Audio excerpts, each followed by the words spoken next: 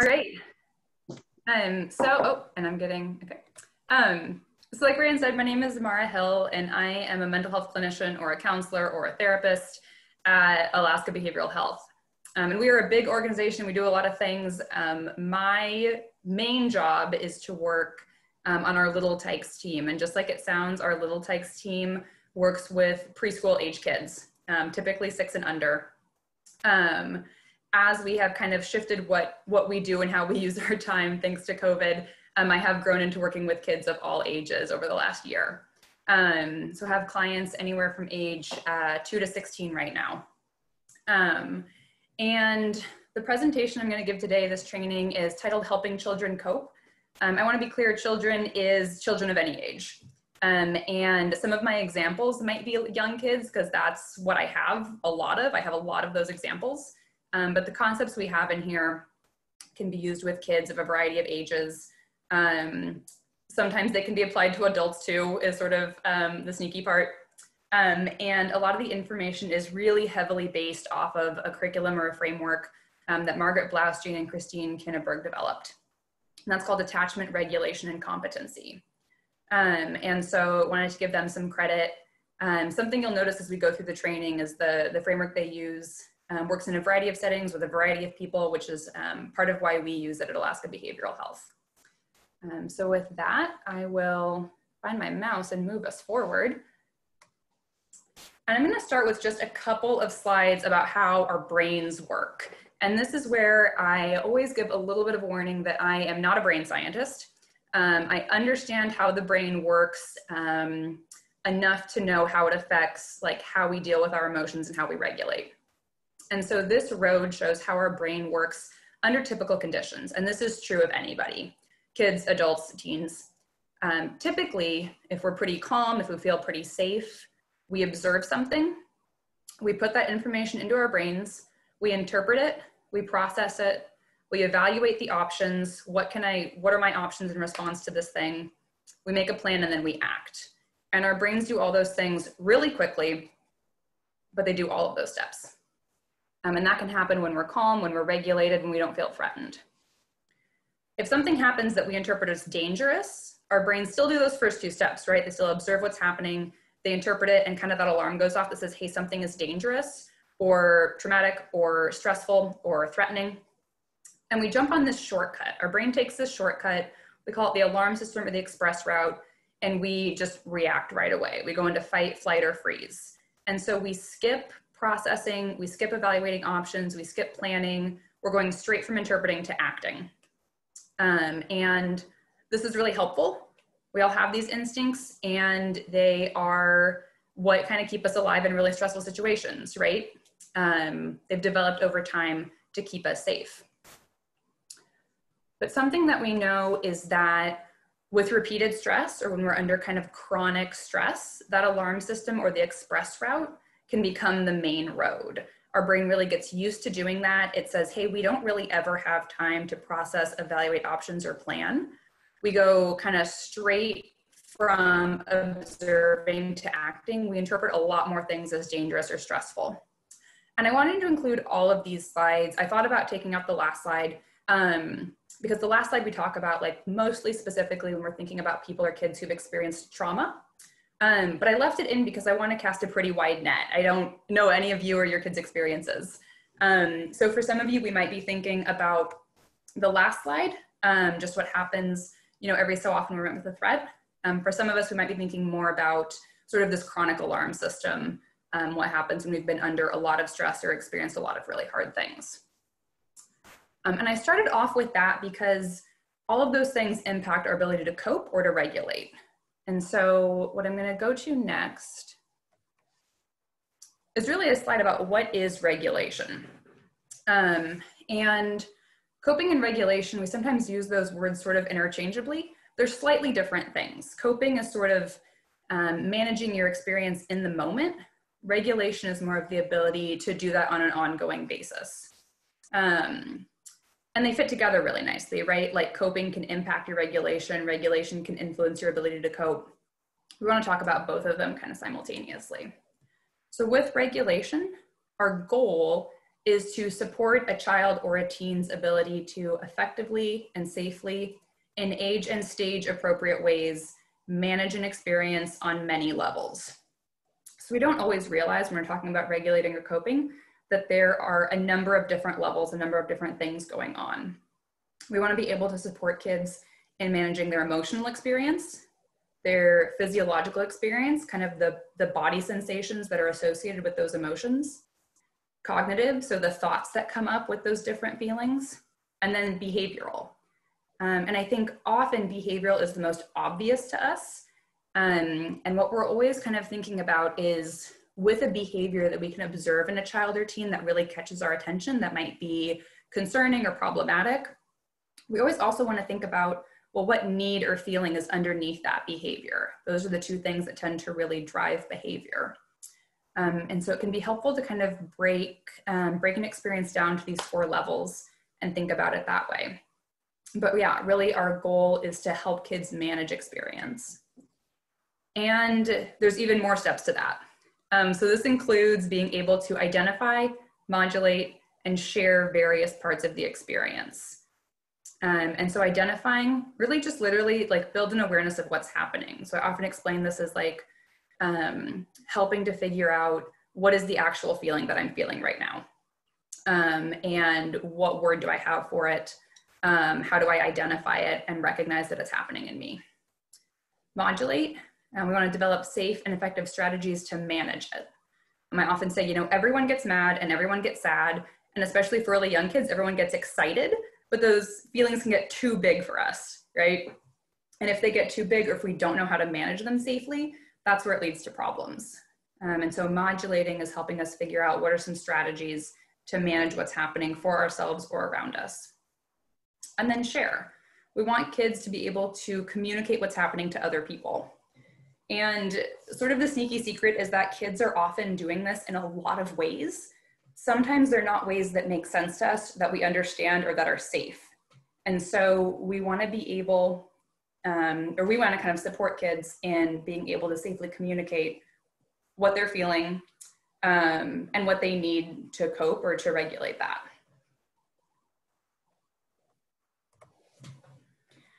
And we're also going to talk a little bit about caregiver regulation. This is, um, I know this training is titled Helping Kids Cope or Helping Children Cope.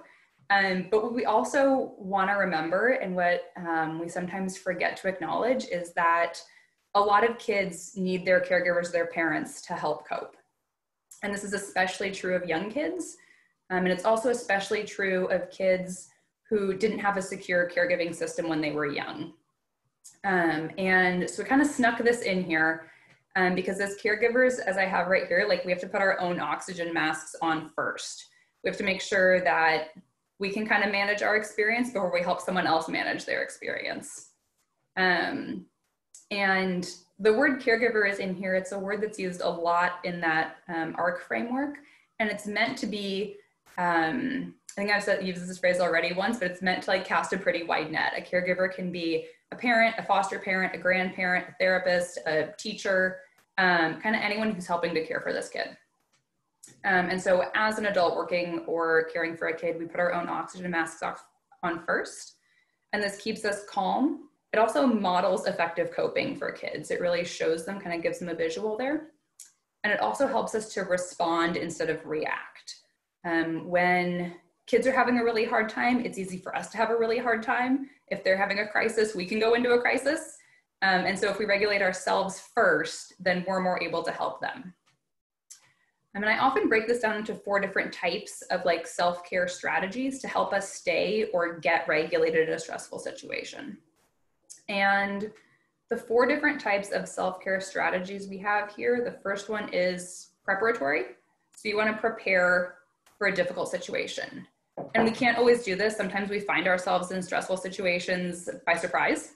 Um, but if we know that we're going into like a time of day that's really tough for our kid, or a particular setting or activity or situation that's really difficult, then we think about things we can do to prepare for that. Um, and just some examples, like a starting off point here would be like have a plan, take care of basic needs, bring a support person if you can. Um, and I'll use kind of like doing this training as an example. I do a lot of trainings Um, but I always get like a little anxious before each one. I want it to go really well. And so things that I did to prepare for today, um, you know, I talked to the other people that live in my home and kind of we made a plan for where people were going to be during this time. Um, I knew I was going to feel more self-conscious if other people were around. Um, you know, taking care of basic needs. I made sure that I wasn't coming into this hungry, um, made sure that I wasn't coming to it thirsty. Um, and another sort of little secret, I changed into some comfier pants. Um, wanted to feel really prepared. Um, so those are some examples of the, you know some things that I did or on there, things you can do to prepare for um, a potentially tricky situation. The second kind of self-care strategy we talk about is in the pocket. Um, and these are things that you can kind of carry with you, just like in the pocket sounds, um, in case either you are met with a surprise situation or that you just think like you might need in a situation you're going into. So that can be as simple as taking a deep breath, kind of the ultimate therapist recommendation. Um, it can be counting to 10. It can be using self-affirmation statements um, or little mantras that you have.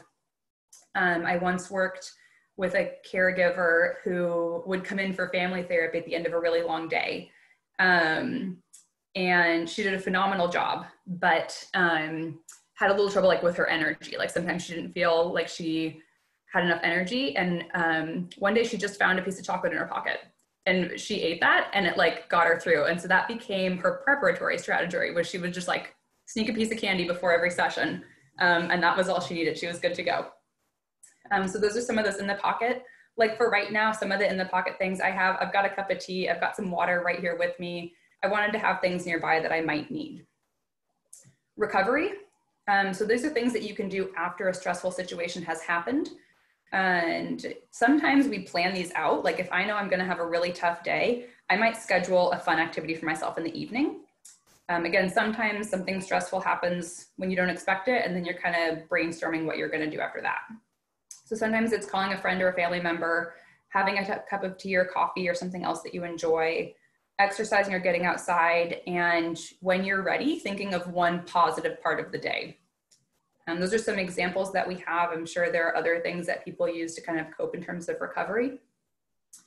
Um, and you know, I didn't plan on any recoveries for this. I don't, I don't think I'll quite need those. Um, but one that I often use is kind of going outside, changing my environment, getting some fresh air. And then there are also ongoing self-care strategies.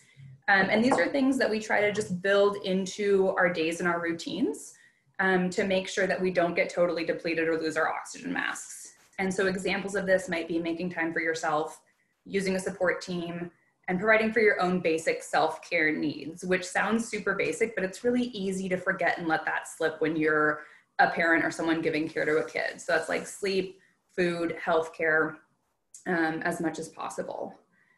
And so when we think about self-care, um, I once did a self-care training uh, for a group of folks and one woman said, you know, self-care is all well and good, but I have four kids, I work full time and I go to school. I can't go to the spa this weekend. And I was like, that's okay. Like that might be a really big recovery tool for some people, but self-care can also just be these really little things that we're doing every day um, to manage and to, and to kind of keep ourselves going. Um, so we, we talk about self-care for caregivers because you have to do that to then take care of a kid. Um, and so now we'll kind of shift into kids. And um, I know we're talking about kids and teens. Um, I did want to put a plug in here for like early childhood considerations and considerations um, also for kids who might be older but who might not have had um, like a responsive or stable caregiving system early on in life.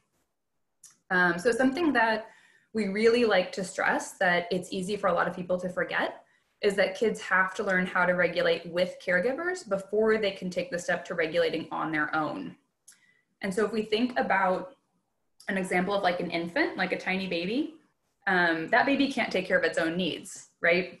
And something that we don't always realize is that when that baby's hungry, it doesn't even actually know that that's what hunger is. It knows that it feels something, something feels wrong, and then it cries and then someone responds to that and feeds it right and we hear all the time people say like oh that's the hungry cry or like oh that's the wants to be held cry um, and so you attune to your baby you kind of get to know it really well and learn what it needs and you pick it up and you feed it and you're probably holding it close and talking to it too. And after that happens thousands and thousands of times, that baby grows up into a toddler who can recognize, oh, I have this feeling. That means I'm hungry. I need something to eat. Um, but we learn that from our parents, from our caregivers. And it's the same thing with other feelings and other experiences too. Um, we learn what our feelings are and how to kind of like fix them or manage them from the adults in our lives. And so, as parents and caregivers, we can help with this by doing a few things that I have listed out here.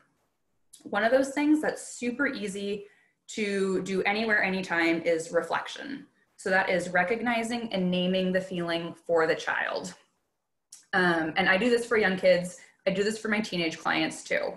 Um, and that's as simple as noticing what they're feeling and saying it out loud for them. Um, you know, I see a really big smile on your face. I can tell that made you really happy. Um, oh gosh, you're jumping up and down. You're really excited to go onto the playground. Um, doing things like that. So reflecting what the feeling is, giving it a name, sometimes linking it to what's making them feel that way. Um, so that's one that's really easy to kind of pull out of your pocket that can be really helpful for kids. Um, we can also model, and modeling is providing a visual language for understanding feelings and regulation. And so sometimes we're going to be doing that through um, like books or movies or other media, like other visual things. Often we're doing it through ourselves. Um, and I sometimes work with parents or caregivers who say, you know, I didn't, I don't want my kid to ever see me mad, or I don't want my kid to ever see me sad. Um, and we do want to be, you know, thoughtful about kind of like how we react in front of our kids. Um, but it can also be really helpful for kids to see a parent get frustrated or a little angry or a little sad, and then see them cope with that and manage it. Um, and so sometimes this might look like um, letting a kid, you know, I was talking to a family um, just this morning where they talked about, oh, you know, when that happens, we both have to take a little bit of space. You know, one of us goes into this room, one goes into this room. Um, and the mom actually said, you know, and sometimes, and sometimes she's ready to come out before I'm ready to come out. And I let her know I'm still feeling frustrated. I'm going to keep taking a little bit of space. Um, and that's okay to kind of like model and narrate what you're doing and let your child or your teen know that like these feelings come up and here's how we can manage them. Um, the third thing we have listed on here is stimulation and soothing. And so this is supporting the achievement and maintenance of increasing or decreasing energy. Um, and that might look like doing things to encourage kids to get their energy up. Um, if they're feeling um, kind of down, kind of low, we might do um, some different activities. Um, if it's not too super cold, we might go outside. Um, we're probably gonna have to do those things with them to kind of get them going. Um, alternatively, if their energy is like way too high, we might need to do things with them to bring it down lower. You know, you're bouncing off the walls, um, but we live in a pretty small space and it's too late to go outside. Um, we're gonna do some coloring together. We're gonna watch a movie together as a family, kind of whatever that is. So sometimes we've gotta help get it up and sometimes we've gotta help get it down. Um, and we're gonna be doing that with kids. Um, the second thing we want to think about in terms of early childhood, um, and I think particularly early childhood with this one, like kind of true to the title, um, is that need fulfillment and physiology are super linked to regulation, um, especially for young kids and really any young kid. Energy is really easily disrupted, feelings are really easily disrupted by physiology, so things that have to do with our body. So if we're hungry, if we're sleepy, um, we're going to see more rapid shifts um, than we do in in adults or in older kids. And so that's something that's super normal with young kids.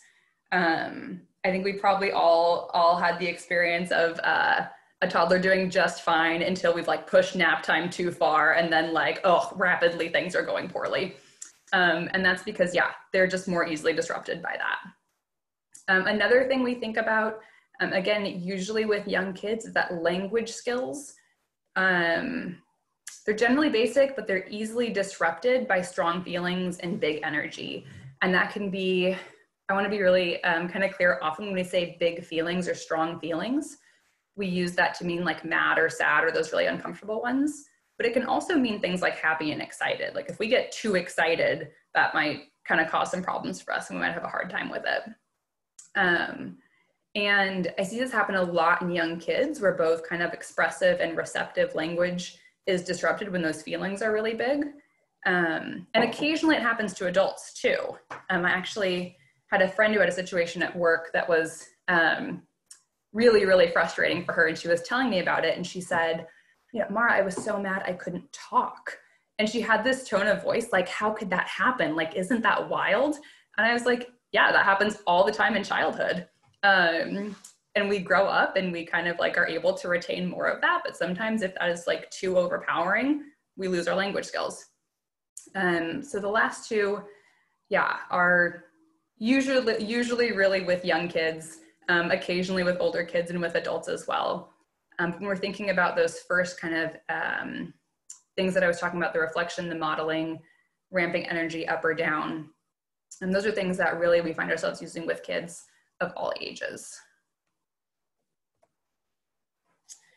So this one, um, this slide is titled comfortable and effective. Um, and we use those words a lot. Sometimes, sometimes I swap out effective for like how good of a match is it. Um, but I mentioned energy before, kind of ramping energy up, ramping it down. Um, something that we talk with kids and parents a lot about is energy. We want to normalize and teach the concept of energy. We all have different energy in our bodies, kids, teenagers, adults. It's not good or bad um, it's just different. Um, and I know like I tend to be more of a high energy person. Having more energy in my body feels pretty good to me. Uh, when my energy is lower, it tends to be a little less comfortable. Like I kind of have a harder time dealing with it. But I have friends and I have family members who are just like lower energy people. That's super comfy for them. And that's okay. We want to then link energy with feelings. Um, so often the feeling isn't the problem the energy associated with it is the problem. So like I said, the, you know, everyone's going to get mad, everyone's going to get sad, everyone's going to get excited. Um, if the energy associated is too big, that's where we see a problem, if it's too big for us to manage. And energy can be a great place to start with kids who are really young and don't grasp like feelings words yet, or kids for whom feelings feel really like uncomfortable and vulnerable. Um, and that's true again for kids of all ages that we work with. Um, I've got I've got teenagers that I work with where we're not at a place to be really talking about feelings yet because that can be kind of pretty loaded. Um, but energy feels safer, and that's a better place for us to start is thinking about how high is our energy, how are we managing our energy. So related to that, we want to build an understanding of the comfort zone. Everyone's comfort zone is different, just like all of our energies are different. Um, so what level of energy feels comfortable to you? What level of energy feels comfortable to your kid? um, and what kind of can keep us in that comfort zone. If we get above or below it, that's when we're going to be using some coping, some regulation skills. Um, and we want to create an understanding of the role of context. And I'll, probably come back to this in the next couple of slides, but our energy and whether it's like a good match and helpful is pretty dependent on what context we're in and what our environment is. So like I referenced before, if um, it's like if I'm a high energy person and right now I have high energy in my body. That's super comfy for me. Um, and if it's after work and I'm going skiing or I'm going outside, that's a really good match for what I'm doing. Great, I'm good to go. If I'm a really high energy person and I've got really high energy right now and it's time to go to bed, um, I have more of a problem. Um, or if it's time to like sit really still on my computer for the entire day, I have more of a problem. I've got to manage that a little better. Um, and so we want to think about how, how that can really be part of the factor too. And then we want to facilitate a sense of agency over modulation. So build the, really that means like kind of build the ability to regulate your energy to change it. We want to build a toolbox. And I wrote here we want to build two because we talked a couple slides ago about kind of caregiver self-care. We want tools for that. So we want you to have a toolbox and we want your kid to have a toolbox of coping and regulation skills. And so we're going to dive a little bit more into energy. Um, and this is a scale that um, the two women who developed ARC came up with. But I also like to be really clear we can use numbers, we can use words, like there's so many ways to communicate what your energy is. And for some people, numbers make a lot of sense, saying I'm at a, I'm at a 10 energy, you know just what I'm talking about. Um, for some people, they don't like using the numbers, and, and even coworkers of mine, they say, oh, I'm high, medium, or low. And we want to do more of the words. And then with some kids that we work with, we have like pictures of animals, right? Do I feel like um like a shark or like a turtle? Um, you can get kind of creative with it and make your own scale. So there's three steps when we're talking about our energy. Um, and we want to build awareness of our energy so that we can cope with it. And so the first step is to identify where is our energy? Is it high, medium, or low? The second step is, like I said before, how comfortable does that feel to you in your body? If you are naturally a pretty low energy person and you have low energy right now, it's probably pretty comfortable. Um, if not, might be a little bit less comfortable. It can also depend on where that energy is coming from. Like a high excited energy might be more comfortable than like a high anxious energy. And you can build that in kind of as you go. And then lastly, like I talked about before, we think about is it a good match? Is this energy a good match for what I'm doing right now? If all of those things line up, you're good to go. Um, if they don't quite line up, then that's where we bring in kind of like our regulation and our coping skills. Um, and so we put it all together.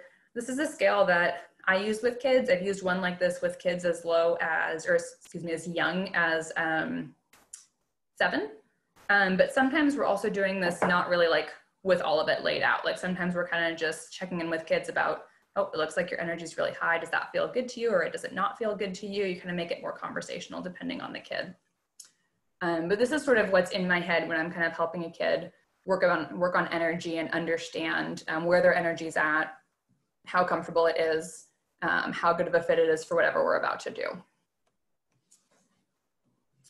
Um, and so, like I said before, sometimes we're using like that that scale and the different colors, sometimes we're using different things to talk about energy. Um, one of the things that we can use um, that was on a couple slides ago, reflection and modeling. Um, a reflection again, sort of narrating what you're seeing in the kid. Uh, so that might be like, gosh, like you're bouncing up and down. I can tell you have a lot of energy right now. You've got you've got really high energy. Um, or like I had a kid laying laying on the floor the other day, and I was like, oh, I can tell your energy is super low real low. They're wrapped up, wrapped up in a fuzzy blanket. It's like, that looks really low and comfortable, low and comfortable today. Um, and the great things about reflection and modeling, you know, modeling being kind of like narrating your own experience too, is that they're super versatile and they're super portable. They work with any age group. You can take them anywhere. Um, so that's really helpful. And you can do it quickly too. Um, some other things that we use are what we call like concrete markers. And so that would be like heartbeat, body temperature. Um, I have a stethoscope in my office and when I see kids in person, um, sometimes we're using, using the stethoscope to figure out like, okay, how fast are our hearts beating? And then we're doing some jumping jacks and it's like, oh, my heart's beating faster now. Okay, like I've got more energy. Um, we also talk about like once kids are ready to talk about feelings, we might talk about, you know, if your heart's beating really fast, it might be because you're excited, um, or it might be because you're nervous. And so we can kind of link those concrete markers to those feelings. Um, body temperature is a big one too. Um, with a little bit of like reflection and modeling, lots of kids can usually um, like recognize that change in them, right? Like, oh, my face is feeling warmer, or like I feel really hot. Um, and again, that can be a variety of feelings. It's usually a higher energy. Could be that you're feeling mad, could be that you're feeling excited, could be that you're embarrassed. Um, but there's usually a higher energy there that we can help kids with. Um, some other kind of like visuals, like props that we use sometimes, a balloon or one of these collapsible balls that I have a picture of down here. We can just kind of narrate like, oh, things get bigger, things get smaller, energy's bigger, feelings are bigger, what can make it smaller? Um, that can kind of make it fun. Um, and then there are tons of books that can help to facilitate like reflection and discussion, provide visuals of characters, and provide opportunities for displacement. And displacement is sort of a fancy word, and I haven't figured out quite how to boil it down without explaining it um, in, lo in longer terms. Um, but displacement we use when talking about a kid's own experience feels too close to home or feels kind of too vulnerable or too scary. And so we might say things like, How do you think this mouse feels? Like in that picture down there.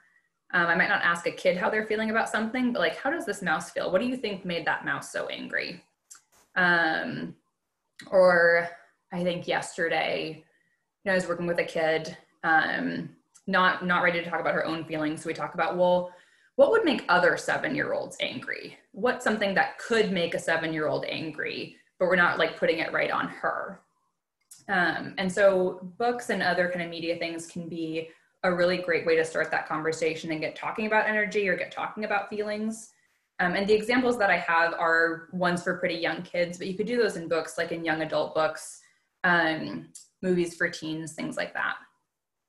Um, I'll probably mention this on another slide when I have some um, some recommended books on here, um, but it can take me like half an hour to read a picture book to a kid. Like we are stopping, we are hopping like mouse in this picture. Uh, we're like, oh, this mouse is mad. Do you ever feel mad? You don't ever feel mad. Oh, someone else might feel mad. What would help them with if they're feeling mad? And before I know it, I've made it through one page and we're like seven minutes into the session. I'm like, oh, we gotta, we gotta hurry this up. Um, so it can facilitate discussion, sometimes a little bit too much discussion if you're with me. Um, so in terms of regulation strategies, we want to look for in the moment opportunities to reflect affect, um, affect meaning like the emotion or the feeling, and encourage child identification. And so something that I'm talking about with parents a lot is, um, you know, if kids are coming in for a once a week or if kids are zooming in for a once a week appointment with me, that's really great. We can build a lot of these things. Um, but it's really important to communicate with parents and with caregivers so that they know what we're working on and they can be helping it or helping kids to do that like the rest of the week because um, we want to be practicing these things in the moment and so in the moment you can be you know reflecting feelings reflecting energies but also encouraging kids to do that too um, and we know that kind of those like real life real life um, opportunities are super helpful uh, we use like i said before we can use books and media to practice um, identifying feelings or emotions and we can incorporate that into a daily routine um, and a routine that I have for kids when we start a session. Um, with young kids, I put up like a chart that has different feeling faces on it and they pick one. Um, with older kids, they've let me know they don't need that. And so we just kind of do a verbal check in of how they're feeling.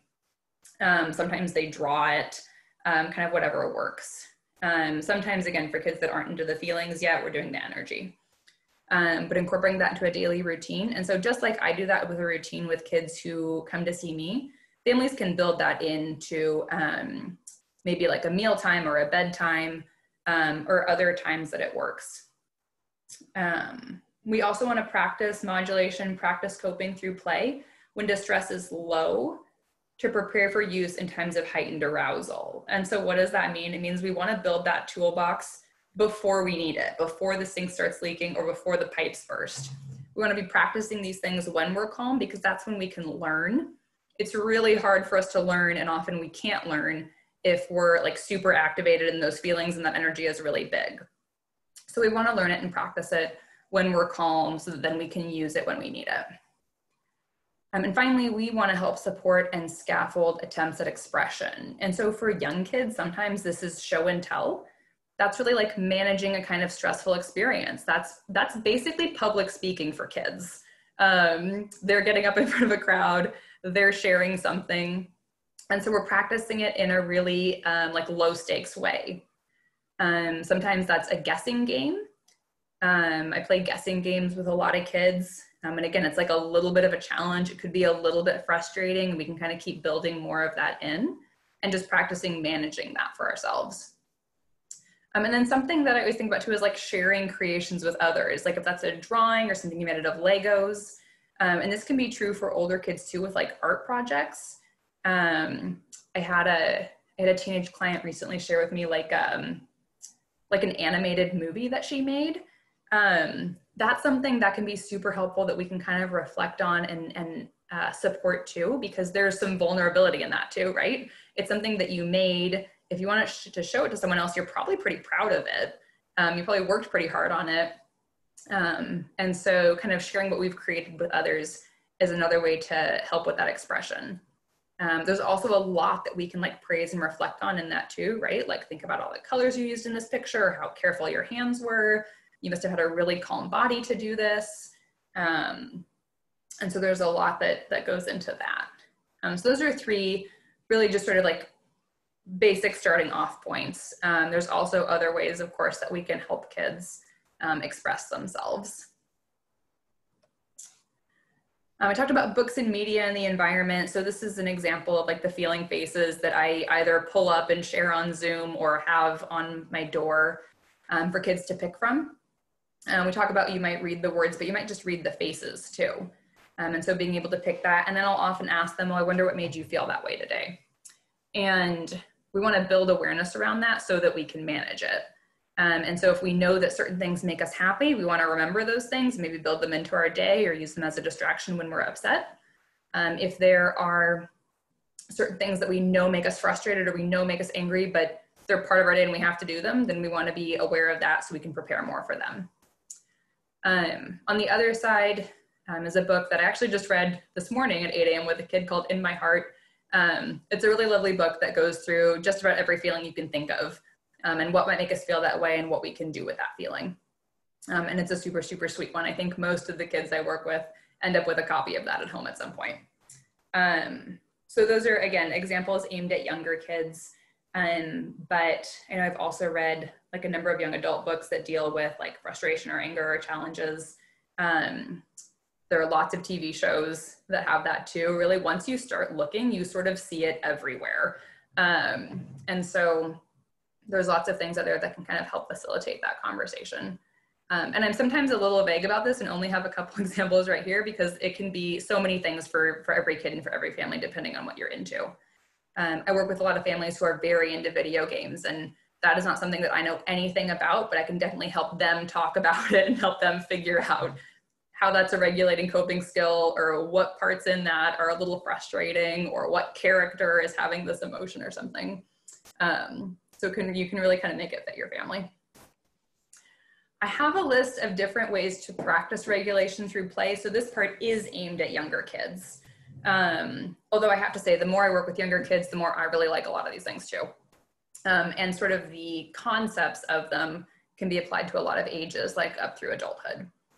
Um, and so like one category we would think of as gross motor movement. So for an adult, that might be going for a walk, going skiing, going to the gym. And other times, um, like, you know, doing, doing whatever you do to kind of get your body moving. For kids, that might be, um, you know, we, we have some Bosu balls or kids, you know, bouncing on a Bosu ball.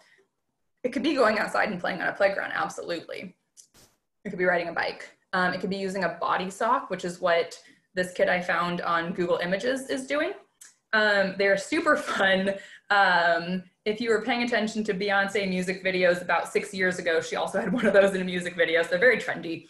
Um, but they're super fun and they're actually, kids can actually see through them. And so you can kind of like be stretching and it's like a different way to move your body. And you've got to be like really present, but it's really fun. Um, we also have like spinners we use with kids, crash pads, which are really just like they sound like like an enormous pillow.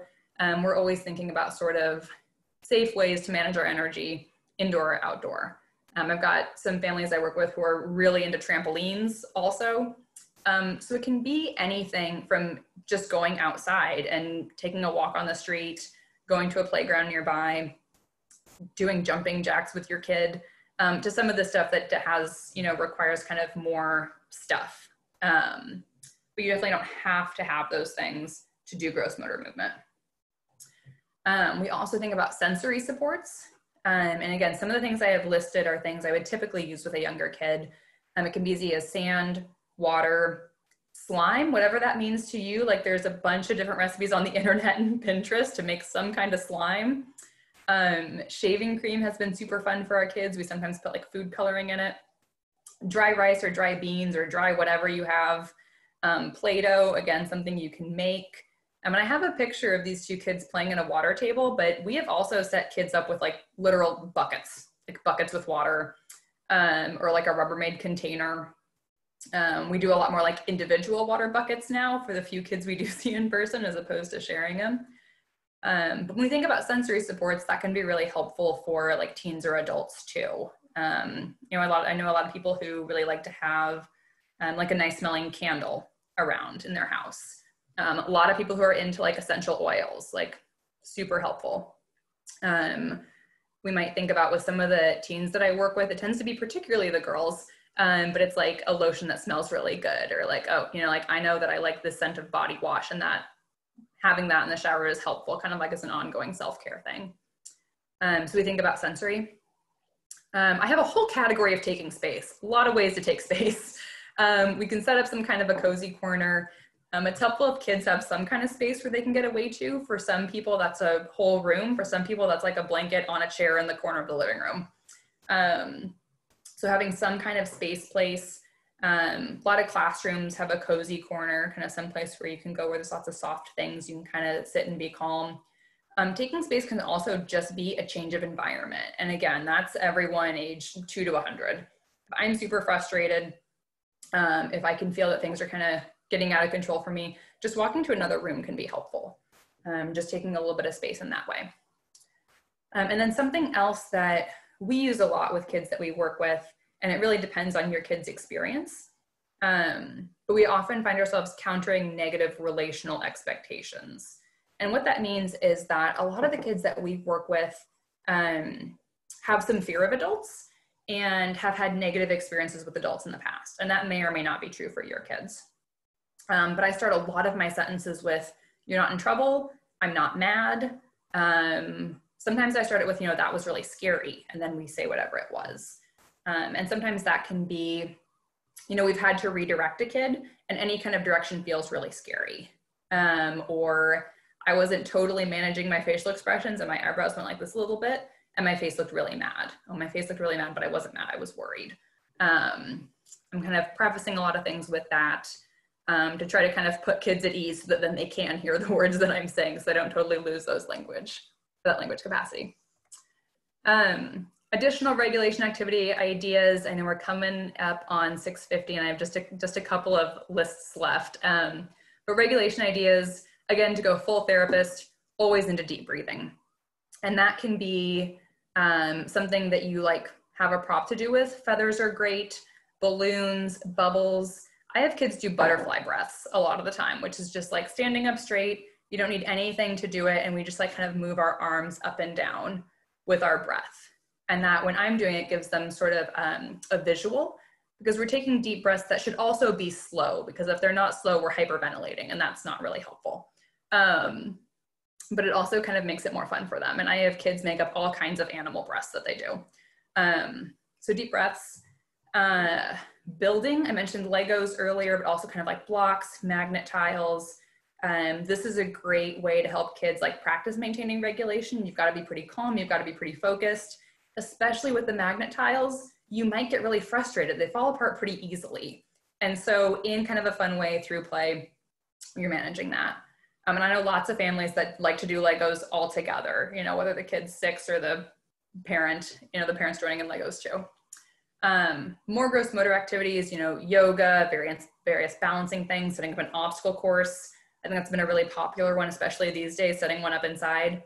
Um, and then just going back again to like tactile or sensory things, remembering water, shaving cream, Play-Doh, um, scented lotion, scented candles, um, whatever is going to kind of feel good. Um, else use a lot? I have a lot of like, at my office, I keep like a squishy ball um, on my desk. Like I said, I'm kind of a high energy person. So when I'm on, you know, my 17th Zoom call of the day off camera, I'm kind of just like squeezing, squeezing the life out of this poor little like strawberry, I think, um, to kind of help me stay focused. Um, so these are some other ideas that we can use. And again, we're kind of practicing them when we're calm so that then we have those skills when we're not calm. Um, and then here I have a suggested book list. This is for younger kids. Um, and if you want a copy of um, the PowerPoint so you have this list, um, you can always email our training coordinator, Roselle Busby, and I'll put her email address in the chat. Um, but all of these books are, are really great at helping facilitate discussion about feelings, discussion about regulation and coping, different options we have in terms of that. It's definitely not an exhaustive list, um, but they're the ones that I find myself using a lot. Um, and they're in no particular order on here. I think they're like alphabetical. Um, and yeah, like I said, um, they're just the ones that I often use that I found really helpful with kids. Um, and so with that, I think we're at, we're at the end. And so I'm curious if folks have questions or thoughts or anything that came to mind.